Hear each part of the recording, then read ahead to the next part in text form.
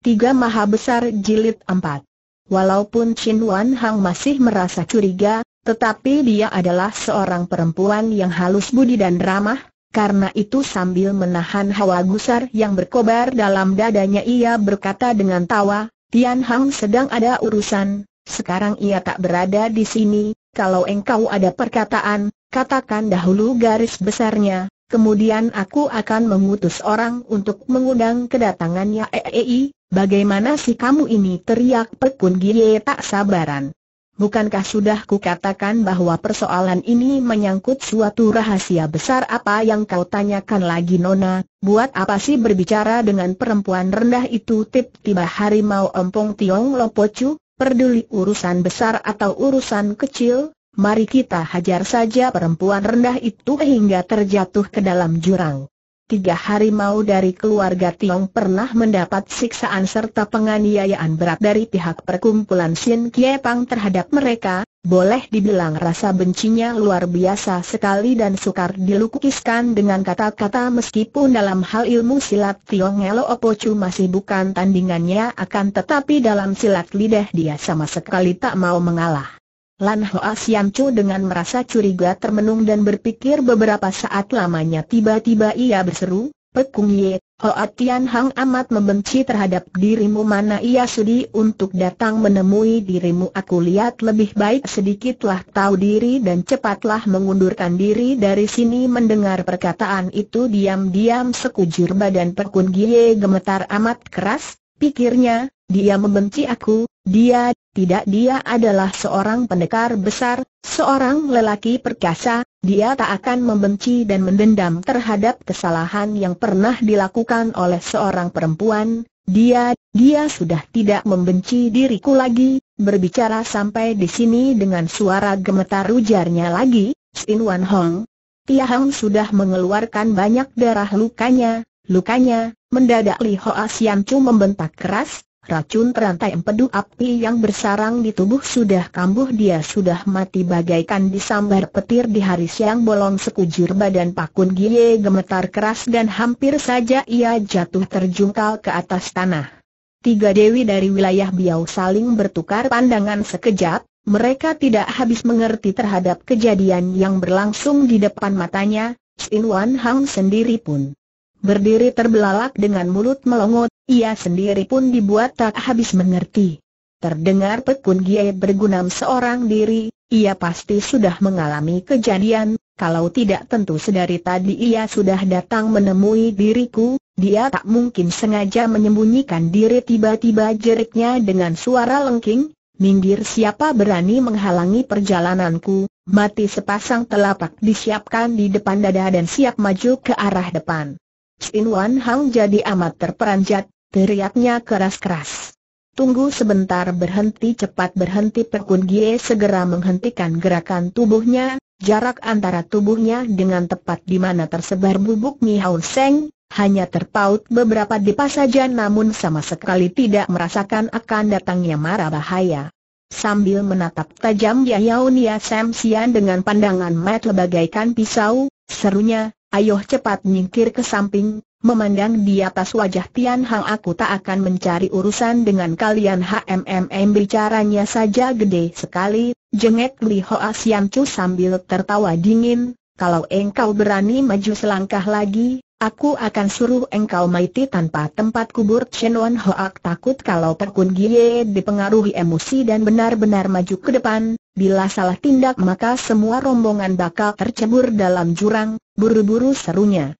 Kepada Perkun Gie, ada persoalan mari kita bicarakan secara baik-baik, engkau jangan bertindak secara gegabah, Tian Hang sedang berlatih ilmu pedang di belakang bukit sana, urusan apa pun tak boleh mengganggu ketenangannya. Coba katakanlah dahulu rahasia besar apa yang hendak kau sampaikan kepadanya, kemudian aku baru akan mengundang kedatangannya, ak-ak benar pikir Pekun Gie di dalam hati. Ketika Tian Hang bunuh diri dengan menelan racun ketika berada di tepi sungai Wang Ha tempo hari, Sin Wan Hang begitu sedihnya sehingga selama beberapa bulan lamanya ia kehilangan semangat dan pikirannya tidak waras hingga sampai wilayah Biau pun ia tak tahu. Andai kata Tian Hang mengalami sesuatu hal masa ia dapat begitu tenang berpikir sampai di sini, perasaan hatinya jadi agak lega dan wajah yang semula pucat pun kini jadi merah kembali. Li Hoa Siam Chu diam-diam mengawasi perubahan wajah gadis itu, Tiba-tiba ia temukan bahwa rasa cinta Pekun Gie terhadap Hoa Tian Hang ternyata tidak berada di bawah cinta kasih adik seperguruannya, dalam keadaan tercengang dan tak habis mengerti, ia segera tertawa keras sambil serunya, Pekun Gie, sungguh tak nyana engkau dapat berubah jadi begini rupa, benar-benar perubahan cuaca sukar diramalkan, membuat orang merasa tak dapat untuk mempercayainya kalian cepatlah mengundang datang Tian Hong, Aku tak dapat menunggu terlalu lama lagi seru Perkun Gie dengan tegas, selewatnya malam ini, di mana kita berjumpa di situlah kita bikin perhitungan. Aku ingin membuktikan ilmu beracun dari wilayah Biao yang lebih lihai ataukah ilmu silat dari daratan Tionggoan yang lebih ampuh. Liho Asian Su tertawa terkekeh-kekeh. Ha-ah, ha-ah, ha-ah, tentang persoalan itu lebih baik dibicarakan di kemudian hari saja, sudah lama aku dengar orang berkata bahwa bangsa Han memegang teguh tata cara, aku ingin bertanya kepadamu, engkau selalu mengatakan hendak berjumpa dengan Tian Hong, apakah EF kau tidak takut ditertawakan orang lain? Perkun Gie agak tertegan kemudian dengan gusar serunya, perempuan suku Biao yang tak tahu diri, Pekung Ye adalah seorang gadis suci bersih perbuatan apakah yang kutakuti hingga ditertawakan orang lain? Seorang gadis suci bersih Li Hoa Sian Chu bukannya gusar malahan tertawa sinis, tahukah engkau bahwa Hoa Tian Hong sudah ditunangkan dengan orang lain malam?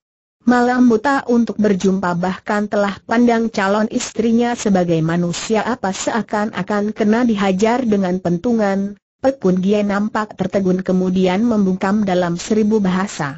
Lan Hoa Sian Chu sekalian mula-mula juga nampak tertegun tapi dengan cepat mereka menyadari apa yang telah terjadi dan mengetahui pula kalau Li Hoa Sian Chu hanya bicara sembarangan untuk menggoda serta mempermainkan Pekun Gie.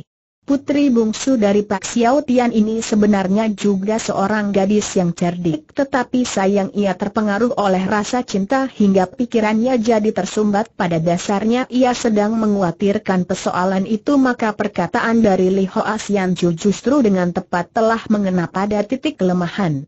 Chin Wan Hang sendiri juga merupakan seorang gadis yang berperasaan halus menyaksikan Perkun Gie terkena pukulan batin hingga termangu-mangu, Darah itu merasa tak tega. Akan tetapi sebelum ia sempat membongkar rahasia tersebut, terdengarlah Li Hoa Siam Chu dengan gusar membentak. Pekun Giet, ayo cepat enyah dari sini, benarkah engkau mau tunggu sampai Hoa Tian Hang datang serta memberi pelajaran kepadamu sepasang mata Pekun Giet pudar dan sayu, wajahnya kosong dan termangu-mangu, ia mengangguk dan benar-benar berlalu dari sana.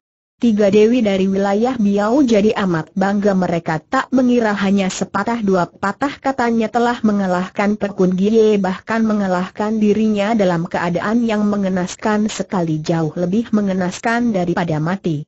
Pekwe Gie berlalu beberapa langkah dari sana. Mendadak ia putar badan dan bertanya dengan bimbang, apakah calon istrinya adalah Chin Wan Hang? Kecuali Chin Wan Hang siapa lagi yang pantas mendamping Hoa Kong Chu teriak Li Hoa Suan Chu. Aku sudah tahu, Giok Teng Hujin memang tidak pantas untuk mendampingi dirinya, gumam Pek Kun Gie. Tiba-tiba ia berkata kembali, apa Hoa Hujin menjodohkan mereka makin menyaksikan kejadian itu Ciwi Siam Chu semakin kegirangan tak tahan ia berteriak keras, tentu saja Hoa Hujin.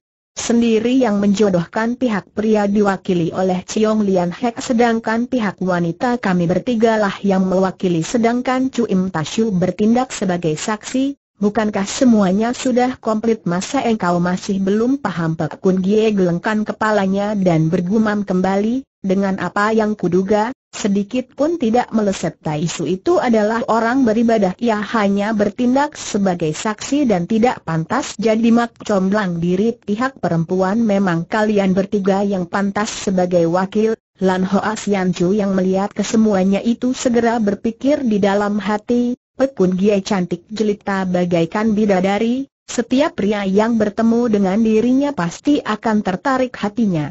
Persoalan ini menyangkut kebahagiaan hidup Hang Ji selamanya daripada membinasakan perempuan sipek ini sehingga mengikat tali permusuhan dengan pihak perkumpulan Sin Kie Pang. Lebih baik ku bikin jengkel saja hatinya sehingga ia jadi gila. Dengan begitu aku pun tak usah menanggung resiko mesti mengikat tali permusuhan dengan orang Berpikir sampai di sini, ia segera mengambil keputusan dan dengan cepat ia sambar sebuah kantong kain yang tergantung di balik baju yang dikenakan Shin Wan Hong. Gadis si Chen itu jadi amat gelisah, sambil menangis serunya, Toa Suci, benda itu adalah, bocah cilik, kenapa sih mesti ribut terus hardik Klan Hoa Sian Chu? Ia segera berpaling dan teriaknya, Pekun Gie, apakah engkau ingin melihat tanda mata? Apakah yang diberikan Hoa Kong Chu untuk Hang Jet Pekun Gie melenggak kemudian mengangguk. Tentu saja saya ingin Latlan Boa Sian Chu segera melemparkan bungkusan yang berhasil didapatkan dari dalam saku Chin Wan Hang itu ke arah depan, serunya, Tanda metu itu berada dalam kantong kain itu. Lihatlah sendiri dengan jelas kantong itu kecil dan enteng sekali Pekun Gie segera menerimanya dan merobek dengan menggunakan ujung jarinya, tetapi kantong itu terbuat dari ulat sutra yang ada di wilayah Biao, sekalipun coba diobek berulang kali ternyata usahanya gagal. Sesudah bersusah payah akhirnya tutup kantong itu terbuka juga dan isi kantong tadi pun muncul di depan mata. Dalam sekejap mata, wajah Perkun Gie yang pada dasarnya sudah pucat kini berubah jadi semakin pucat hingga menyerupai mayat, sepasang tangannya gemetar keras sementara sepasang giginya saling beradu dengan ketasnya. Ternyata isi dalam kantong kain milik Chin Wan Hang itu bukan lain adalah tiga biji gigi yang kuning dan tiada sesuatu yang aneh, namun bagi pandangan Perkun Gie ketiga biji gigi itu justru telah menghancur luluhkan perasaan hatinya. Keadaan seperti ini seketika menggetarkan perasaan hati tiga dewi dari wilayah Biao, Sin Wan Hang yang bersembunyi di belakang tubuh ketiga orang sucinya pun mengucurkan air mata sambil tiada hentinya memanggil, Suci, Suci tiba-tiba. Pekun Gie membuka sepasang matanya, Dua titik butiran darah mengalir keluar membasahi pipinya. Sin Wan Hang tak dapat menahan diri lagi, ia segera maju ke depan sambil teriaknya diiringi isak tangis, Pekun Gie.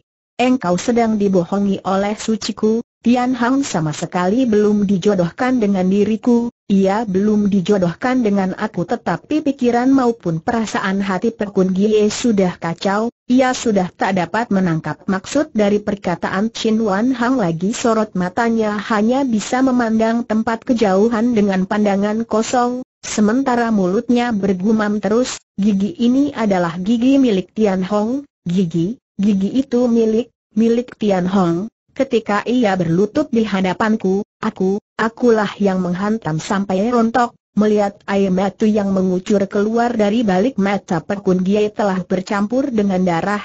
Sin Wan Hang semakin terperanjat hingga sambil menangis serunya, Perkun Gie. Benda itu bukan suatu tanda mata sebagai pengikat perkawinan kami, Benda itu kusimpan sendiri tanpa diketahui oleh Tian Hang sendiri tetapi Pekun Gie tidak menggubris perkataannya lagi dengan suara yang kosong. Ia berseru, buat apa dia tinggalkan benda ini dia, dia, ternyata ia masih amat membenci terhadap diriku. Ia telah menggunakan benda itu sebagai tanda meta pengikat tali perkawinan. Bukan, bukan, teriak Chin Wan Hang sambil menangis, Tempo hari ketika aku mengejar kereta kudamu, kalianlah yang membuang pakaian bercampur darah dari Tian Hang ketika aku buka pakaian itu, kulihat benda tersebut, belum habis dia berkata, tiba-tiba pekun. Gie mendekatkan tangannya yang gemetar tiada hentinya itu ke sisi bibirnya, kemudian memasukkan ketiga biji gigi tadi ke dalam mulutnya dan ditelan ke dalam perut. Suara gemeretak berbunyi keras, Darah mengalir keluar membasahi bibir Pekun Gie, keadaannya mengenaskan sekali membuat siapa pun yang menyaksikan merasa tidak tega. Sin Wan Hang menangis terseduh, serunya, Toa Suci, Ji Suci, Sam Suci, carilah akal untuk menolong dirinya. HMM siapa suruh dia mencari penyakit buat diri sendiri? kata Li Hoa Sian Chu sesudah berhasil menenangkan hatinya, Apakah gigi milik Xiao Long bukanlah gigi manusia Hang Ji ujar Ciwi Siam Cu pula, Bukankah kalian sering kali menceritakan tentang bagaimana kejam serta ganasnya orang-orang dari perkumpulan Shin Kie Pang? Bukankah kalian sering bercerita tentang ketelengasan serta kejahatan mereka menindas kaum yang lemah selama ini entah sudah berapa banyak kejahilan yang telah dilakukan oleh Pak Kun Gie? Sudah sepantasnya kalau sekarang ia mendapat hukum karma serta pembalasan atas perbuatan-perbuatannya itu, kenapa engkau malah menggerutu terhadap kami dia mencintai Hoa Long mungkin Xiao Long pun mencintai dirinya, bisik Chin Wan Hang dengan air mata bercucuran. Omong kosong hardik Li Hoa Siam Chu dengan gusar, Apakah engkau tidak mencintai Xiao Long? Apakah engkau bersedia menyerahkan kembali Xiao Long ke tangan orang lain? Tiba-tiba tampaklah Perkun Gie merapatkan bibirnya dan menelan kehancuran gigi beserta darah itu ke dalam perutnya. Sinar matanya pudar dan kepalanya tertunduk ke bawah jurang seolah-olah sedang mencari sesuatu. Sin Wan Hang jadi amat terperanjat, segera teriaknya keras-keras, Pekun Gie sambil berteriak, tubuhnya segera menerjang ke depan. Dengan cepat Lan Hoa Sianca menyambar tangannya serta mencengkeramnya rat-rat, hardiknya, engkau cari mati kesadarannya sudah kabur, dia dapat menyeret engkau untuk terjun ke dalam jurang Chin Wan Hang. Semakin gelisah air matanya jatuh berlinang makin deras, tiba-tiba ia berpaling dan teriaknya keras-keras, Tiong Long, Cepat undang kemari Xiao Long cepat harimau bisu Tiong Lang tertegun dan untuk beberapa saat lamanya tak tahu apa yang baru dilakukan akhirnya ia putar badan siap berlalu dari sana. Tiba-tiba harimau empung Tiong Lo Peo Ocu membentak lirih, tak boleh pergi biarkan perempuan rendah itu mati konyol kentut busuk bentak harimau pelarian Tiong Liao dengan gusar. Engkau berani membangkang perintah Nona Look dia hajar punggung putranya. Tubuh harimau bisu Tiong Long segera terpental sejauh beberapa tombak dan tempat semula, ia cepat-cepat merangkak bangun dan segera berlarian menuju ke arah depan, kalau lari perlahan sedikit kembali harimau empung Tiong Lo Peo Ocu menghardik. Harimau bisu Tiong Lang tak tahu apa yang mesti dilakukan, beberapa langkah ia berlalu cepat beberapa langkah kemudian agak lambat kemudian beberapa tombak lagi ia berpaling ke belakang.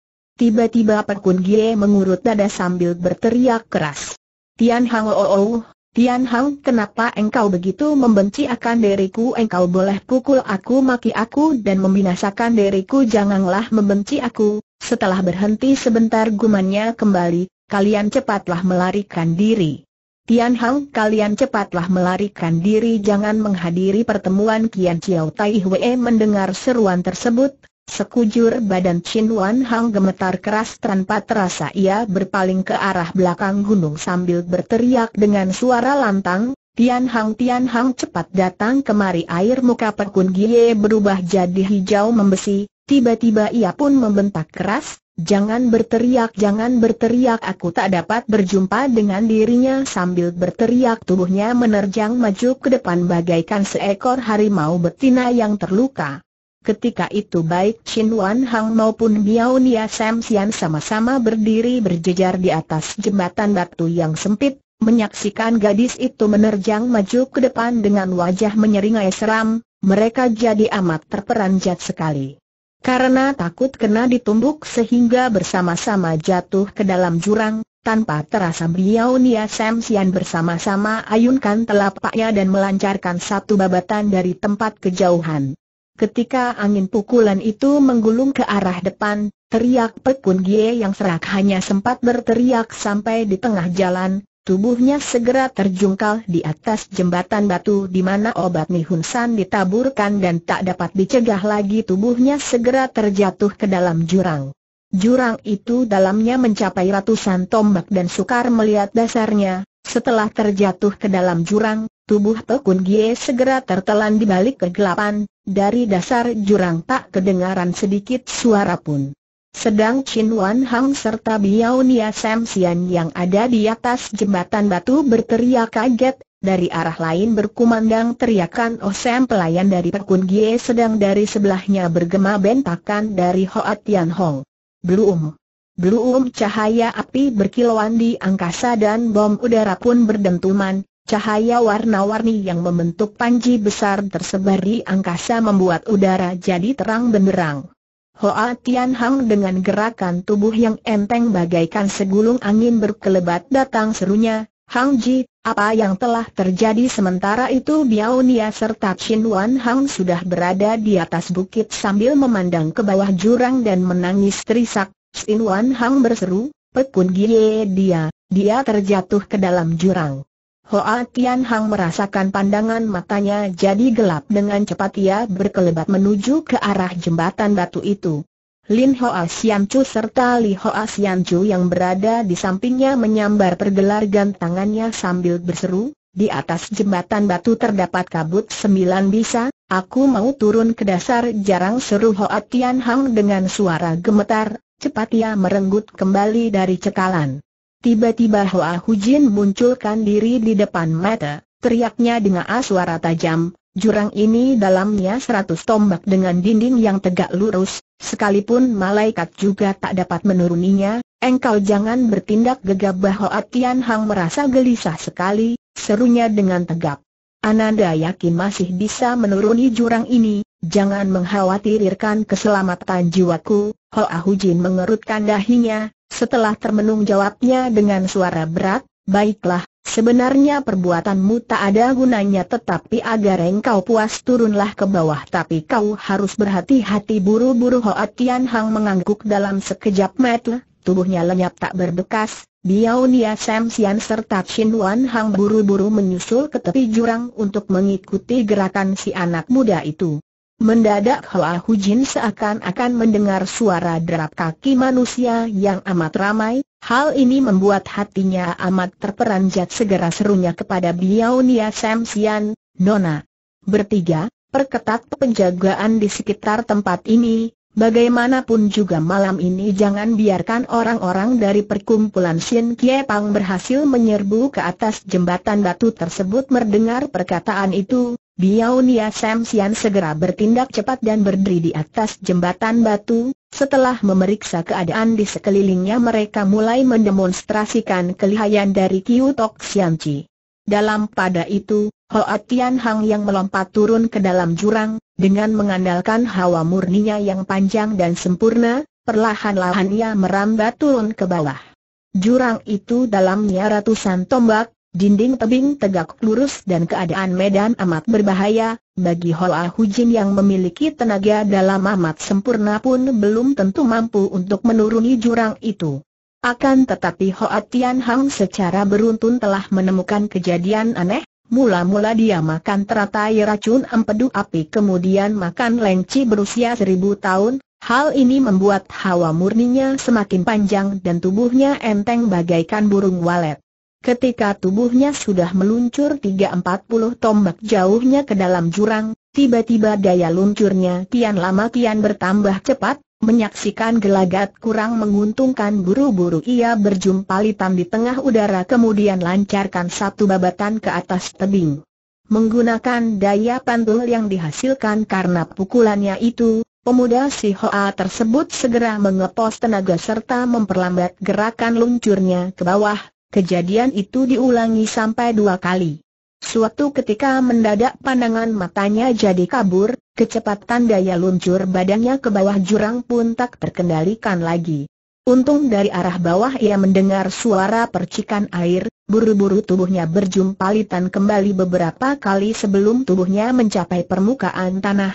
Ia lancarkan pukulan dahsyat dahulu ke arah bawah, dengan daya pantul itu ia berhasil mengurangi kecepatan daya luncur tubuhnya hingga kemudian bulu uum badannya berhasil mendarat di atas dasar jurang.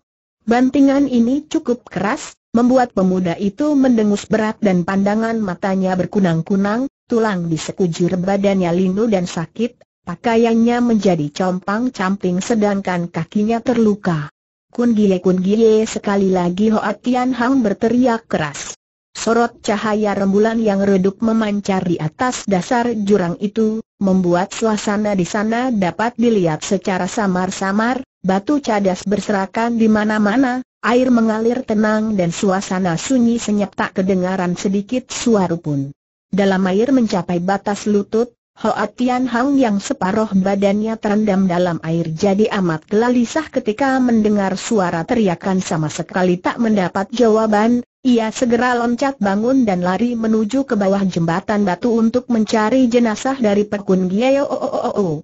46 pemuda itu berlarian mengelilingi seluruh daerah di atas jembatan batu itu kemudian balik lagi ke tempat semula, namun bayangan tubuh Pekun Gie sama sekali tak terlihat, Hal ini membuat dia jadi tercengang dan tak habis mengerti. Kun Gie kembali teriaknya. Tiba-tiba sesosok bayangan manusia muncul di belakang tubuhnya, dengan nada suara yang hambar dan sama sekali tidak membawa perasaan apa pun menjawab dengan lirih, Pekun Gie telah mati, siapa pun tak dapat memanggilnya lagi, dan dia pun tak dapat mendengar suara panggilanmu lagi sekujur badan Hoa Tian Hang gemetar keras, Tiba-tiba ia putar badan dan menengok ke arah orang yang berbicara itu. Di bawah sorot cahaya rembulan, tampaklah seorang rahib berpotongan badan ramping berbaju warna hijau dan memakai cadar kain hitam di atas wajahnya, berdiri angker di atas sebuah batu besar, dalam bopongannya menggendong tubuh seorang gadis dia bukan lain adalah Pekun Gie yang terjatuh ke dalam jurang. Karena rahib itu memakai kain cadar, maka sulitlah untuk diperkirakan masih muda atau sudah tua, ditinjau dan suaranya yang merdu dan rambutnya yang hitam pekat. Semestinya dia adalah seorang yang masih muda. Namun kalau dilihat kewibawaan serta keagungannya menunjukkan kalau orang itu sudah punya umur. Rasa sedih, menyesal, gugup dan pedih bercampur aduk jadi satu dalam hati kecil Loat Tian Hong, setelah tertegun sebentar ia tuding tubuh Pekun Gie yang berada dalam bopongan rahib itu dan bertanya dengan suara gemetar, Sian Koh, Nona Pek, dia, titik air mata berlinang membasahi pipi rahib bercadar kain hitam itu, dia mengangguk dan menjawab lirih, sejak zaman dahulu gadis cantik bagaikan panglima perang, jarang sekali ada yang bisa hidup hingga akhir tua, aaai ia menghela napas panjang suaranya lirih dan lemah terdengarlah betapa pedihnya hati orang itu. Hoa Tian Hang merasa amat sedih sekali, air mata jatuh berlinang membasahi wajahnya, tiba-tiba ia saksikan wajah Perkun Gie yang pucat pias bagaikan mayat, darah kental masih menodai bibirnya, dengan penasaan hati seperti diiris-iris, ia menubruk ke depan. Rahib berpakaian cadar hitam ini segera mengegos ke samping dan melayang mundur beberapa rombak ke belakang serunya dengan gemetar, yang sudah mati ya sudahlah, Engkau mau berbuat apa? Hoa Tian Hang tertegun, dengan air mata berlinang sahutnya, aku, mendadak ia teringat kembali akan sebatang lengci yang masih tertinggal dalam sakunya, dengan cepat kotak kemala itu diambil keluar dan berkata, aku mempunyai sebatang lengci berusia seribu tahun, kasiaknya dapat menghidupkan kembali mereka yang telah mati, tidak menunggu pemuda itu menyelesaikan kata-katanya, Rahib bercadar kain hitam itu sudah menukas sambil gelengkan kepalanya. Di kolok langit tiada obat mujarab yang dapat menghidupkan kembali orang yang telah mati, nyawa Pek. Kun Gie sudah yang tinggalkan raganya, sekalipun ada lengci berusia sepuluh laksa tahun, jiwanya juga tak dapat diselamatkan lagi meskipun demikian, Aku hendak berusaha dengan segala kemampuan yang kumiliki. Rahib berkain cadar hitam itu kembali gelengkan kepalanya berulang kali, tukasnya, percuma, sekalipun engkau berhasil selamatkan jiwa Perkun Gie, apa yang hendak kau lakukan selanjutnya? Mula-mula Hoa Tian Hang agak tertegun, kemudian dengan perasaan tak senang hati menjawab, Perkataan Sian Koh mengandung arti yang sangat dalam seakan-akan engkau telah mengetahui akan hubungan budi serta dendam antara aku dengan Pepun Gie persoalan itu sudah tersebar luas di seluruh kolong langit. Setiap jago dalam persilatan telah mengetahuinya, tentu saja Pini juga mengetahui akan masalah ini bolehkah aku mengetahui sebutan Sian Koh dan apa pula hubunganmu dengan Pepun Gie tegur Hoa Tian Hang dengan sepasang alis mata berkenyit.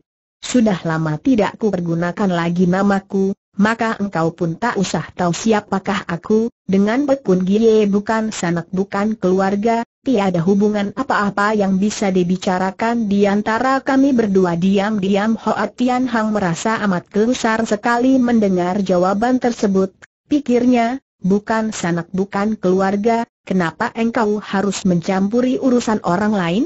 Sementara itu rahib bercadar hitam itu telah berkata kembali dengan nada dingin, Pekun Gie menjadi korban karena cinta, Pini merasa kasihan terhadap nasibnya yang buruk itu, maka aku berhasrat untuk carikan sebuah tempat yang indah. Panoramanya umuk mengubur jenazahnya di sana, agar muda-mudi di kolong langit dapat mengetahui serta berziarah pula ke depan kuburannya. Heh, heh, heh, heh, Sian Koa benar-benar seorang manusia yang suka mencampuri urusan orang lain sindir Hoa Tian Hang sambil tertawa dingin, jikalau Pek Xiao Tian mengetahui akan persoalan ini, dia pasti akan berterima kasih kepadamu, dan seandainya Sukma Pekun Gie di alam baka mengetahui akan hal ini, dia pun akan ikut tersenyum karena gembira rahib bercadar hitam itu sama sekali tidak menggubris atas sindiran tersebut. Kembali ujarnya lebih jauh, Pekun Gie adalah seorang gadis suci yang belum pernah dikawini orang, kalau memang engkau tidak menaruh perasaan cinta terhadap dirinya,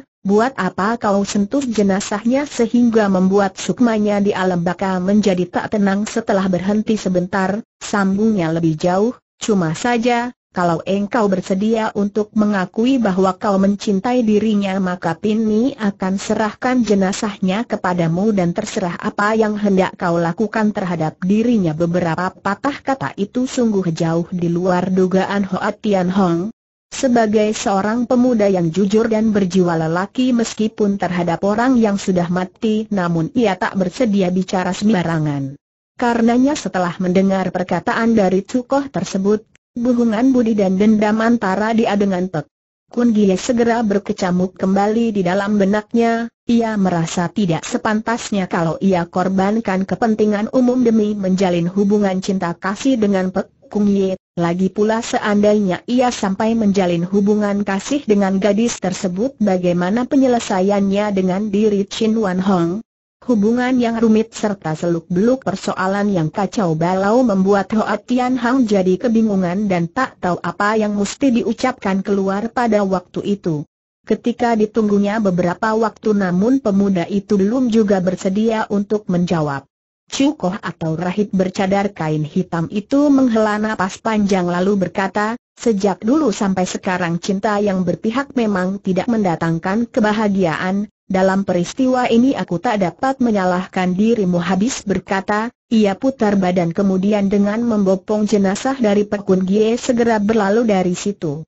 Hoa Tian Hang yang menyaksikan kejadian itu tiba-tiba merasakan kehilangan sesuatu, dengan air mata jatuh berlinang segera bentaknya dengan keras, Berhenti mendengar bentakan itu, Seng Rahib bercadar hitam hentikan langkah kakinya kemudian seraya berpaling ia berkata, apa yang hendak kau katakan apakah engkau anak buah dari perkumpulan Sin Kiet Pang boleh dibilang begitu boleh juga dibilang tidak jawab Cukoh bercadar hitam itu hambar. Hoa Tian Hang jadi amat gusar, serunya, Mula-mula pertama tadi engkau mengatakan bahwa antara dirimu dengan Pepun Gie sama sekali tak ada hubungan sanak ataupun keluarga dan sama sekali tidak kenal satu sama lainnya. Sekarang engkau mengakui bahwa dirimu lain adalah anggota dan perkumpulan Sin Kie Pang. Bicara menklah-menklah sebenarnya mana yang benar bicara sampai ke situ, dari atas jurang berkumandang datang suara bentak keras yang terdengar samar-samar, Baik Hoa Tian Hang maupun Cukoh bercadar hitam itu sama-sama menengadah ke atas. Tiba-tiba terdengarlah suara teriakan keras bergema datang, Kunji. Kunji kian lama suara itu kian mendekat hingga menggema di seluruh jurang tersebut.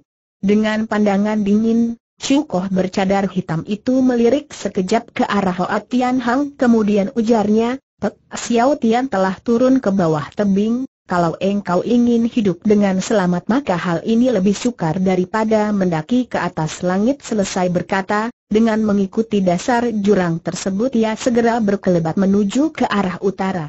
Hoa Tian Hang jadi gelisah bercampur gusar, ia ikut mengejar dari belakang sambil bentaknya, cepat letakkan jerasah itu di atas tanah, kalau tidak jangan salahkan aku tak akan bertindak sungkan-sungkan terhadap dirimu. HMMM pada dasarnya engkau memang seorang lelaki tak kenal budi, seorang lelaki yang tak bertanggung jawab kenapa engkau mesti sungkan terhadap diriku? Tiba-tiba terdengar Pek Xiao Tia dengan suara yang penuh emosi berkumandang datang. Hoa Tian Hang engkau berada di mana? Walaupun Hoa Tian Hoa mengetahui bahwa Pek Xiao Tian masih berada di atas tebing namun mendengar suara tersebut seakan-akan berkumandang datang dari punggungnya, ia jadi amat gelisah tanpa terasa serunya kepada cukoh bercadar hitam itu, kalau jenazah tersebut tidak kau letakkan di atas tanah, aku orang Sihoa segera akan turun tangan jenazah Pekun Gie sudah sewajarnya diselesaikan oleh orang-orang dari perkumpulan Sin Kie Pang sendiri, apa sangkut pautnya urusan itu dengan dirimu sementara pembicaraan masih berlangsung, kedua belah pihak sama sekali tidak menghentikan gerakan tubuhnya, Laksana sambaran kilat merasa saling menjejar satu sama lainnya. Diam-diam kedua belah pihak sama-sama merasa terperanjat, mereka tidak mengira kalau gerakan tubuh lawannya ternyata begitu cepat sehingga hampir melampaui kemampuan sendiri. Benarkah di kolong langit terdapat banyak sekali jago lihai pikir Hoa Tian Hang dalam hati kecilnya. Sementara ia masih berpikir, desiran angin tajam sudah menyambar datang, Tiba-tiba si anak muda itu berkelebat dua langkah lebih ke depan, jari tangannya bagaikan tombak langsung menotok jalan darah Leng Tai Hiat di atas punggung Cukoh bercadar hitam itu. Tak kala merasakan datangnya ancaman yang begitu tajam dari pihak lawan, Cukoh bercadar hitam itu merasa terperanjat, segera pikirnya, sungguh lihai ia tak malu menjadi sukma dari kaum pendekar dari kalangan lurus, berpikir sampai di sini, dengan menempuh bahaya dia membiarkan totokan tersebut mengancam tubuhnya, sedang dia sendiri sama sekali tidak menggubris ataupun memperdulikan. Serangan kilat yang dilancarkan Hoa Tian Hang nampaknya sebentar lagi bakal bersarang di atas tubuh Cukoh bercadas hitam itu akan tetapi pemuda itu buru-buru menarik kembali ancamannya ketika menyaksikan pihak lawan sama sekali tiada maksud untuk menghindar, serunya dengan gusar, Aku orang Sihoat tidak ingin melukai orang dari belakang, kalau engkau masih saja tak tahu diri, jangan salahkan kalau aku tak akan berlaku sungkan-sungkan lagi terhadap dirimu melihat pemuda itu batalkan serangannya, Cukoh bercadar hitam itu kembali berpikir dalam hati kecilnya, Hoa Goan Siu dapat memiliki seorang bocah segagah ini, sekalipun mati, ia tak akan menyesal. Aaai, Sayang sekali kunci tidak mempunyai rezeki sebaik ini, berpikir sampai di situ, dengan suara dingin ia segera berseru, kalau engkau benar-benar ingin bertempur mari kita cari suatu tempat terpencil yang jauh dari keramaian dunia, mari kita bertempur sepenuh tenaga seindahnya engkau mampu menangkan diriku maka jenazah diri Pek Kun Giai boleh kau ambil, Ah ah ah jelaslah sudah kalau Cukoh ini adalah seorang anggota perkumpulan Sin Kie Pang, dengan kematian Pek Kun Gie secara mengenaskan, Pek Xiao Tian pasti akan gusar bercampur sedih, dalam dendamnya ia tak akan mengampuni jiwaku, andai kata kedua orang ini sampai bekerja sama, jelaslah sudah bahwa aku bukan tandingannya lagi, Berpikir sampai di sini, ia segera mengambil keputusan untuk menguntit terus di belakang tubuh Cukoh bercadar hitam itu dan sedikit pun tidak mengendorkan pengejarannya. Rupanya Cukoh bercadar hitam itu hafal sekali dengan keadaan medan dalam jurang tersebut, dengan kecepatan bagaikan sambaran kilat ia bergerak terus menuju ke depan, sedangkan Hoa Tian Hang bagaikan sukma gentayangan membuntuti di belakangnya. Setelah berlarian kurang lebih setengah jam lamanya, keadaan tanah kian lama kian bertambah tinggi tanpa terasa mereka sudah tinggalkan dasar jurang dan berlarian mendaki ke atas sebuah punggung bukit. Pada waktu itu rembulan sudah tenggelam di arah barat, suasana di sekitar bukit itu sunyi sepi dan gelap tak bercahaya, ketika Hoa Tian Hang masih menguntil dengan kencangnya di belakang tubuh Cukoh bercadar hitam itu, Tiba-tiba terdengar rahib tersebut membentak keras, hati-hati Hoa Tian Hang terkesiap, tampaklah tubuh rahib itu bagaikan seekor kera dengan lincahnya meloncat naik ke sebuah bukit, buru-buru ia pertajam pandangan matanya, setelah mengincar tempat berpinjak tempat yang dipergunakan rahib itu ia segera menyusul dari belakangnya. Seandainya pada waktu itu ada orang menyaksikan tingkah laku dari mereka berdua maka orang itu akan terkesiap dan kaget. Hoa Tian Hang sendiri sama sekali tidak menyadari kalau ia berada dalam keadaan bahaya, ia melompat dan melompat terus membuntuti di belakang rahib tersebut. Kurang lebih setengah jam kemudian mereka sudah mencapai di atas sebuah bukit yang tinggi dan cukoh bercadar hitam itu pun segera menghentikan langkah kakinya. Dengan cepat Cukoh bercadar hitam itu membaringkan jenazah Pekun Gie di atas tanah, kemudian sesudah mengatur pernafasan perlahan-lahan maju ke depan. Hoa Tian Hang sendiri sambil menyeka keringat yang membasahi keningnya, ia awasi sebentar suasana di sekeliling tempat itu ketika dilihatnya Cukoh bercadar hitam Iu sudah membaringkan tubuh Pekun Gie ke atas tanah ia segera menerjang maju ke depan. Terlihatlah Pekun Gie memejamkan matanya rapat-rapat, wajahnya pucat pias bagaikan mayat, nafasnya sudah berhenti dan sekujur badannya jadi dingin dan kaku, rupanya gadis itu benar-benar sudah putus nyawa. Hoa Tian Hang sendiri sebenarnya adalah seorang pemuda yang romantis, akan tetapi berhubung pendidikan rumah tangganya amat ketat maka sejak kecil ia sudah terdidik untuk bisa menguasai perasaan sendiri. Ketika Pekun Gie memperlihatkan rasa cintanya yang mendalam, dia sendiri pun tertarik hatinya pada gadis itu, apalacur dendam kesumat yang tertanam antara golongan putih dan golongan hitam sudah terlalu mendalam hingga ibaratnya api dan air. Sebagai seorang pemuda yang bercita-cita untuk mewujudkan pesan terakhir dari mendiang ayahnya yakni membasmi kaum iblis serta menyelamatkan umat persilatan dari badai pembunuhan membuat ia harus mengeraskan hati serta mengabaikan rasa cinta gadis sipek itu. Sebaliknya kini setelah orang yang dihadapannya telah berubah jadi mayat, pelbagai rasa sedih, cinta dan aneka ragam perasaan lainnya segera berkecamuk jadi satu membuat ia jadi amat terharu dan air mata jatuh bercucuran dengan derasnya. Diam-diam ia berdoa, oh oh oh oh. Kun dia orang yang sudah mati tak akan terikat oleh dendam andai kata di antara kita terdapat dendam atau sakit hati kesemuanya itu telah terhapus sampai di sini saja, kalau selama ini aku telah mengabaikan dirimu, Hal ini kulakukan karena keadaan terpaksa kalau engkau benar-benar mencintai aku semestinya engkau dapat memahami keadaanku serta memaafkan kesalahanku itu, mendadak terdengar suara dari cukoh bercadar itu berkumandang datang. Tiga dipa dari hadapanmu ada Sin Leng, kalau engkau berpura-pura menyatakan cinta di hadapan orang yang telah mati maka suatu ketika engkau akan mendapat ganjaran yang setimpal mendengar perkataan itu, Hoa Tian Hang merasa amat gelusar ia segera menengadah dan berseru, menyindir orang tanpa bukti Sian Koh apakah engkau tidak merasa bahwa caramu itu terlalu kejam tidak berbudi, perasaan beku apakah ini tak boleh mendongkol terhadap manusia seperti itu. Hoa Tian Hang benar-benar merasa amat gelusar sambil membopong jenazah Pekun Gie. Ia bangkit berdiri lalu memandang sekejap sekeliling tempat itu untuk mencari tempat yang baik untuk menyimpan jenazah Pekun Gie, kemudian baru berusaha untuk mengusir cukoh bercadar hitam itu. Tiba-tiba sorot matanya terbentur dengan sebuah kuburan kecil tiada jauh di hadapannya, di depan kuburan berdirilah sebuah batu peringatan, baik batu nisan maupun batu peringatan nampak antik sekali dan agaknya sudah berusia ratusan tahun. Hoa Tian Hang tertegun ia segera berkelebat ke hadapan kuburan itu, ia temukan di atas batu peringatan terukir tiga huruf besar yang terdiri dari rangkaian huruf kuno dan berbunyi demikian, kuburan pemendam pedang.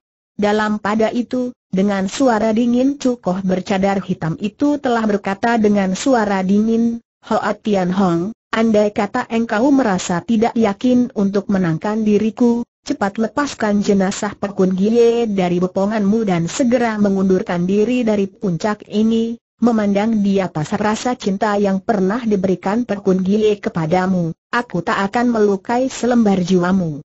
Hoa Tian Hang mengerutkan sepasang alis matanya yang tebal sebelum bibirnya sempat membantah matanya yang tajam telah menyapu sekejap di sekeliling tempat itu. Ternyata di mana ia berdiri pada saat ini adalah sebuah puncak gunung yang tinggi menjulang ke angkasa, sekeliling puncak itu merupakan rentetan pegunungan yang tinggi, Kabut tebal menyelimuti hampir seluruh permukaan tanah lah sendiri tak tahu bagaimana caranya hingga dirinya berada di atas puncak bukit yang begitu tinggi, setelah mengetahui jelas keadaan di sekelilingnya ia merasa bergidik dan bulu kuduknya pada bangun berdiri, dipandangnya sekejap wajah Perkun Gie yang pucat pias itu tampaklah gadis itu semakin putih mukanya hingga menyerupai kertas.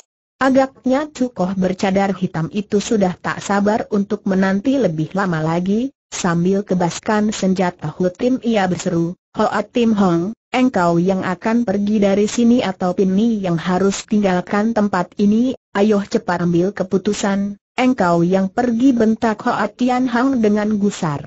Cukoh bercadar hitam itu mendengus dingin badannya melayang maju ke depan dan seret senjata Hutimnya menyapu ke muka. Hoa Tian Hang semakin mendongkol menyaksikan datangnya ancaman dari lawan, dengan cepat ia loncat bangun dari atas tanah telapak kirinya menghajar senjata musuh sedangkan jari telunjuk dan jari tengah tangan kanannya menotok ke depan. Terdengar desiran tajam yang amat memekikan telinga disertai segulung angin serangan yang maha dahsyat, Laksana kilat cepatnya menerobos ke depan mengancam jalan darah Sian Ki Hiat di tubuh Cukoh bercadar hitam itu, Begitu dahsyat serangannya hingga sangat mengejutkan hati orang. Diam-diam Cukoh bercadar itu merasa amat terperanjat, buru-buru ia berubah jurus senjata hutrimnya balik menyerang pergelangan tangan musuh sementara telapak kirinya melancarkan satu pukulan berhawa lunak yang hebat menghantam dada si anak muda itu. Sungguh lihai Cukoh ini, pikir Hoa Tian Hang dengan kaget, Jurus demi jurus serangan yang dilancarkan Cukoh ini penuh berisi tenaga, jelas dia adalah seorang jago kenamaan, mungkinkah dalam perkumpulan Sin Kie Pang benar-benar terdapat begitu banyak jago kenamaan berpikir sampai di situ, tubuhnya segera menerjang maju ke depan secara beruntun dia lancarkan delapan buah pukulan dan kesemuanya merupakan satu jurus yang sama yakni jurus Kun Siu Tau. Delapan buah serangan tersebut ibaratnya gulungan air sungai Tiang Keng yang tiada berputusan, seandainya musuh yang dihadapi bukan seorang tokoh persilatan yang ampuh, tak mungkin akan mampu untuk menghadapi datangnya ancaman tersebut. Cukoh bercadar hitam itu sendiri, dengan sebilah senjata hutimnya yang maha dahsyat, terutama sekali kepandaian Liu Lui Siu atau awan mengalir ujung baju beterbangan merupakan kepandaian terampuh di kolong langit kendati pun pada mula-mulanya masih bisa bertahan dengan seenaknya namun lama-kelamaan dia harus menghadapinya dengan sepenuh tenaga dan sedikit pun tidak berani berayal. Selelah berhasil memunahkan delapan buah serangan tersebut, diam-diam Cukoh bercadar hitam itu menghembuskan napas lega, Menggunakan kesempatan itu ia lancarkan serangan balasan. Hoa Tian Hang serunya sambil tertawa dingin, mengapa engkau tidak cabut keluar pedangmu? Bertempur dengan tangan kosong pun belum tentu engkau mampu untuk mempertahankan diri jawab Hoa Tian Hang angkuh. HMMM bicara takabur dan pandai omong besar, engkau benar-benar seorang manusia yang tak tahu tingginya langit dan tebalnya bumi HMM kalau memang begitu, cobalah terima pukulanku ini Hardik Hoatian Hang dengan gusar. Dari posisi Tiong Kiong ia bergerak menuju ke pintu Hang Bun dengan jari tangan menggantikan pedang, sebuah totokan maut dengan ilmu menyerang sampai mati segera dilepaskan. Bocah tak tahu diri, Engkau memang benar-benar kurang ajar maki cukoh itu dengan gusar.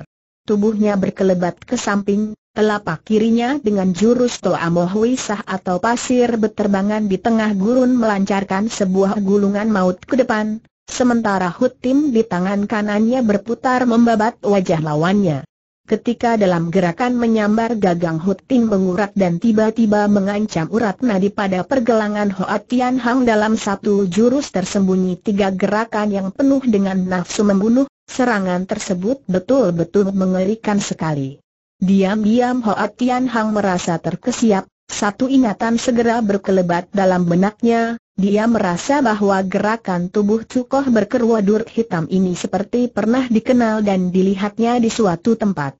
Tiba-tiba terdengar Cukoh bercadar hitam berseru dingin, Hoa Tian Hang apabila engkau mampu mempertahankan diri terhadap seranganku dengan jurus In Mao Semu atau Mega menari-nari, Pinmi akan tunduk 100% dan segera mengundurkan diri dari tempat ini. Secara tiba-tiba Hoa Tian Hang telah menyadari bahwa gerakan tubuh Cukoh tersebut mirip sekali dengan seseorang dan tanpa terasa dia pun teringat akan seseorang yang lain.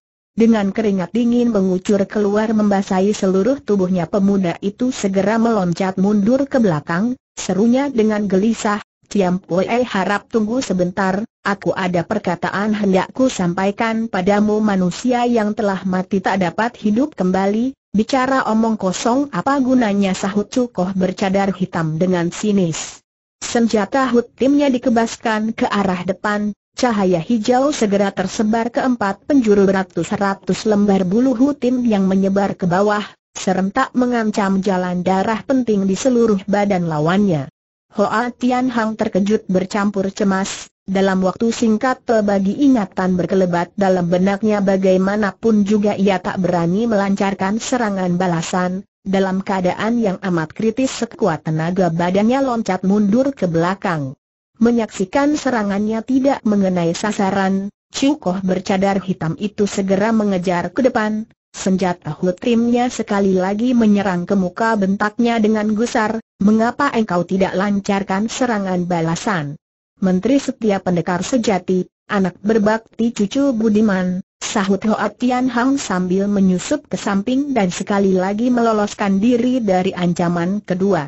Cukoh bercadar hitam itu merasa amat terharu akan tetapi di luar sama sekali tidak mengendorkan pengejarannya, sambil mendesak maju ke depan serunya sambil tertawa dingin, Hoa Tian Hang engkau menghormati Pini sebagai apa aku menghormati Ciam Pue sebagai pendekar sejati, jawab si anak muda itu dengan gelisah. Belum habis dia berkata, Cukoh bercadar hitam itu mendengus dingin senjata hutinnya dikibaskan ke muka dan untuk ketiga kalinya dia melancarkan sebuah serangan kilat.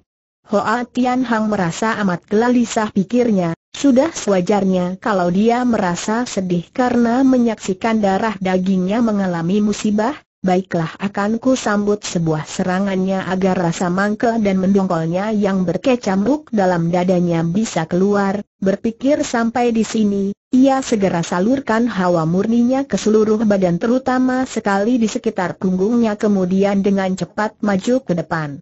Ketika pemuda itu berkelebat ke arah sisi kiri, Cukoh bercadar hitam itu merasa curiga bercampur sangsi akan tetapi anak panah sudah ada di busur mau tak mau harus dilepaskan juga. Sambil membentak keras, senjata hutinnya segera dibabat ke arah bawah dengan amat dahsyat. Aduh!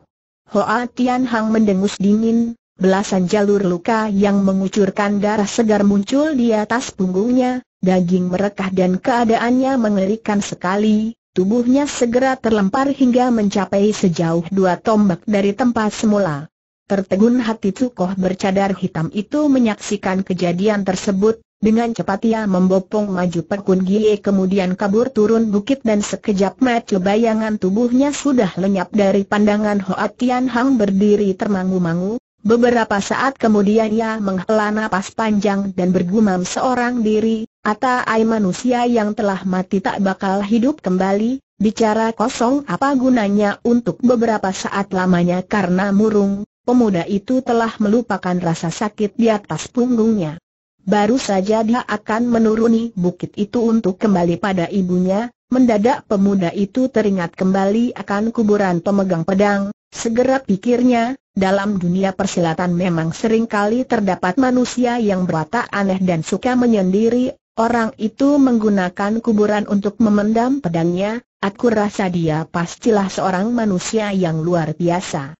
Perlahan-lahan ia dekati kuburan tersebut, Ketika diperiksa dengan seksama mendadak ditemuinya bahwa kuburan pemegang pedang sudah pernah dibongkar orang bahkan kalau ditinjau dari keadaan di sekeliling tempat itu jelas pembongkaran itu terjadi belum lama berselang.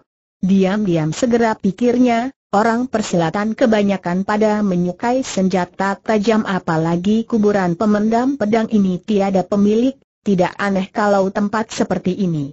Paling sudah memancing kedatangannya orang tapi batu peringatan itu sudah kuno dan hurufnya sudah kabur. Semestinya usia kuburan ini sudah mencapai 2-300 tahun lamanya, pedang di dalam kuburan ini semestinya sedari dulu sudah diambil orang. Kenapa belakangan ini masih nampak juga bekas-bekas digali berpikir sampai di sini, timbullah perasaan ingin tahu dalam hati kecilnya, ia menyingkirkan batu besar di atas kuburan itu dan segera ditelitinya dengan seksama.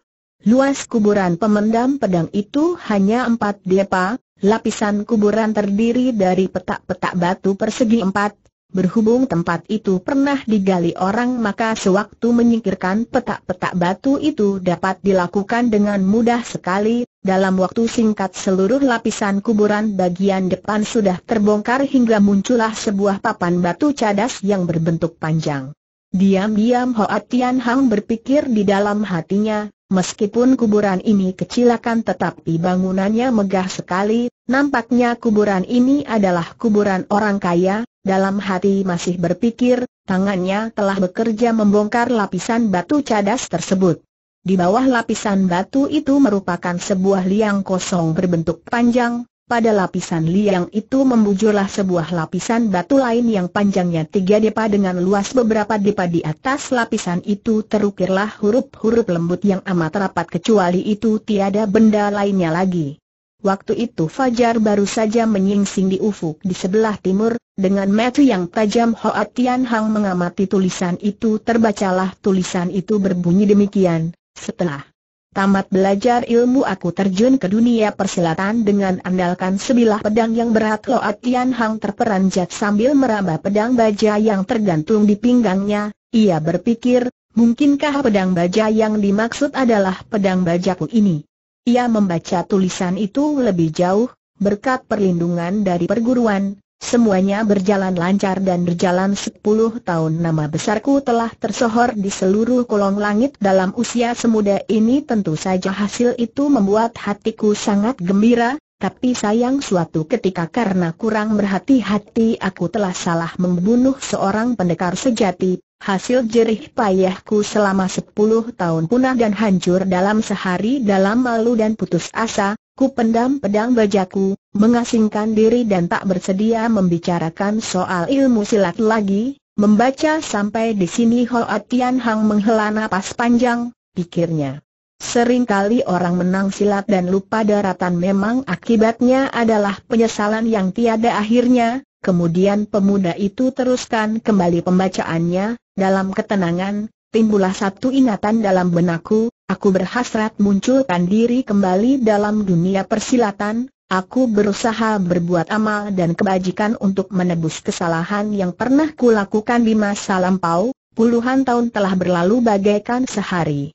Timbul perasaan kagum dan hormat dalam hati Hoa Tian Hong dengan semangat berkobar, ia melanjutkan membaca tulisan itu.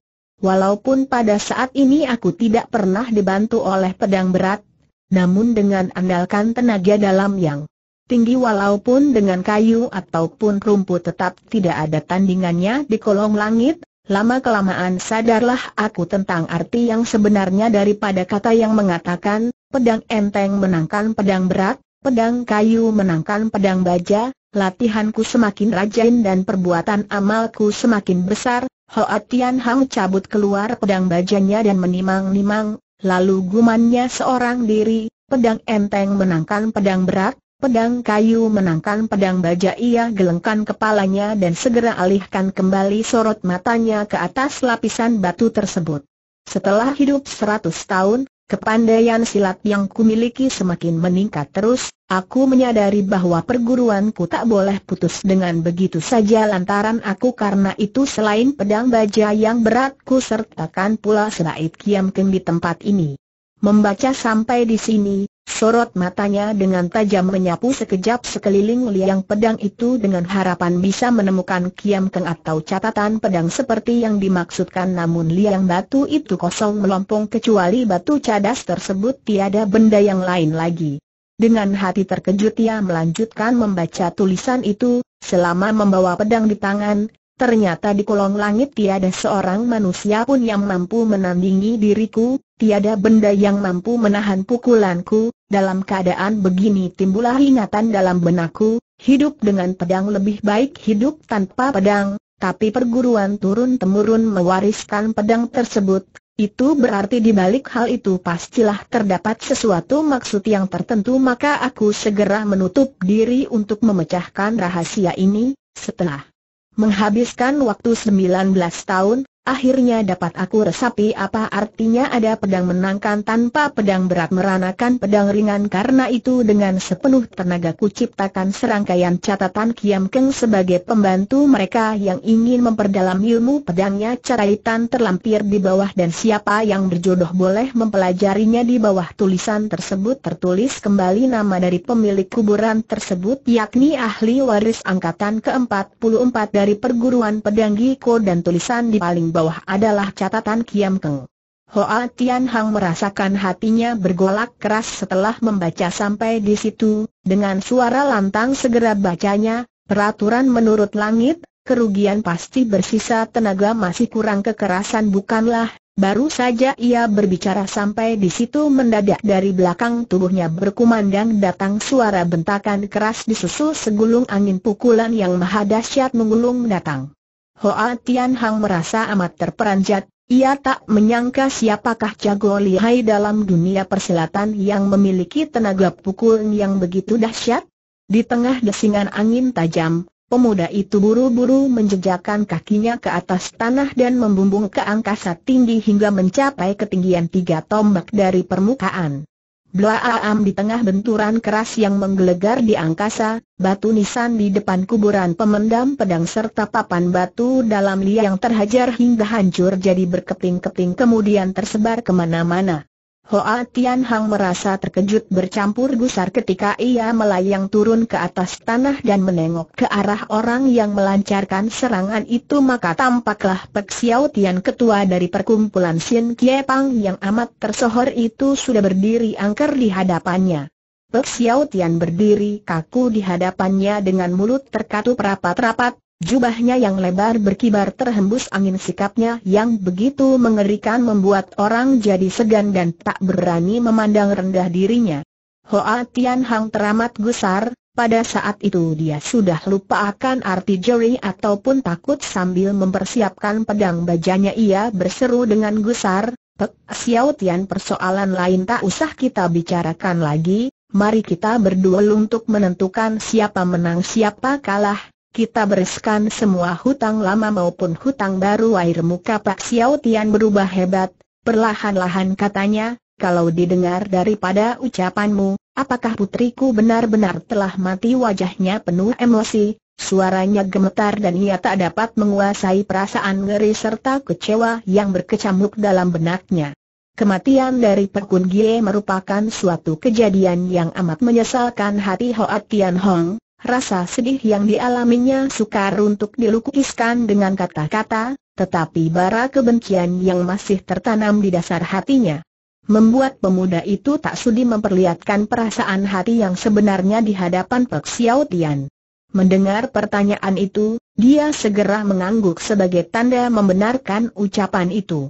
Sekujur badan Pek Xiao Tian gemetar keras sesudah termenung beberapa saat, Tiba-tiba ia menengadah ke atas dan memperdengarkan suara gelak tertawa yang amat menyeramkan.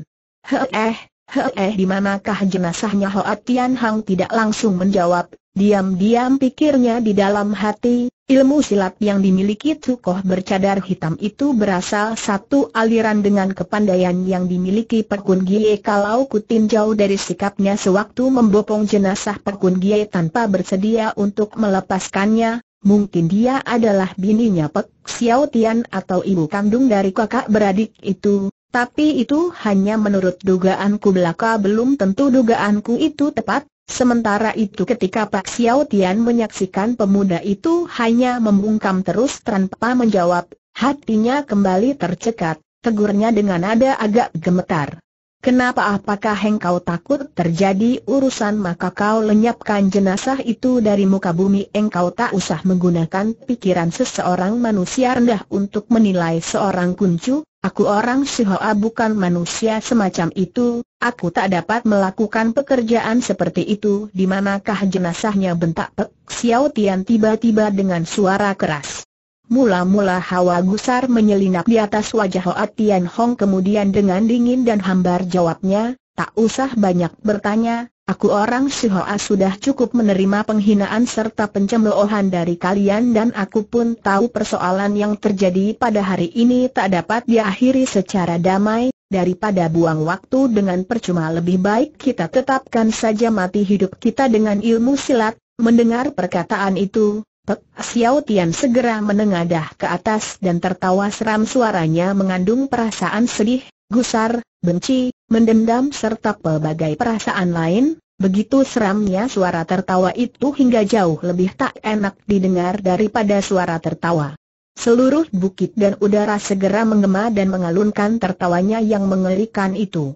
Hoa Tian Hang merasa bergidik hingga bulu kuduknya pada bangun berdiri, pikirnya, Cinta kasih ayah anaknya selalu sama meskipun Pek Xiao Tian adalah seorang jagoan yang amat lihai namun kesedihannya karena kehilangan putrinya yang tercinta benar-benar memilukan. Aaai dalam pertempuran yang bakal terjadi hari ini mungkin salah satu di antara kita berdua bakal menemui ajalnya, berpikir sampai di sini, sengaja ia berseru dengan suara dingin, HMMM sebagai seorang pangcu dari perkumpulan Shin Kie Pang mengapa tidak bersikap lebih terbuka sedikit gelak tertawa Pek Xiao Tian segera sirap, sepatah demi sepatah ujarnya dengan nada menyeramkan, kalau hari ini aku tak mampu membinasakan dirimu maka perkumpulan Shin Kie Pang akan buyar dengan begitu saja, besok malam.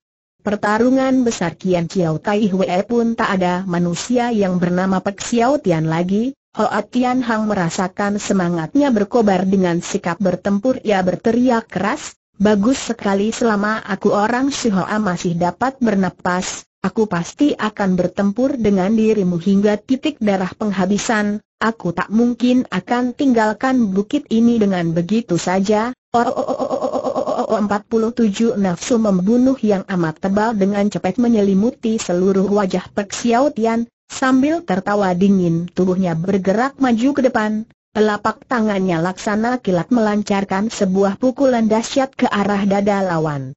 Hoa Tian Hang tetap bersikap angkuh dan sama sekali tak bermaksud menghindarkan diri ke samping, tubuhnya tetap berdiri tegak di tempat semula sementara pedang bajanya diayun ke depan.